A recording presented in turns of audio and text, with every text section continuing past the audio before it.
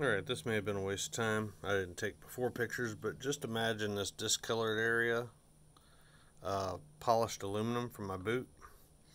I did a cold black aluminum anodizing. This right here. And I played around with it. I probably overdid it doing second and third play arounds, rubbing it in and well, you know, it doesn't look great, but I didn't do this for looks. I'm seeing if being soft aluminum if uh, anodizing the surface, the surface gives it a stronger wear point than just paint. It might wear right back off right onto my boot, turn my pant leg black, something. We'll see.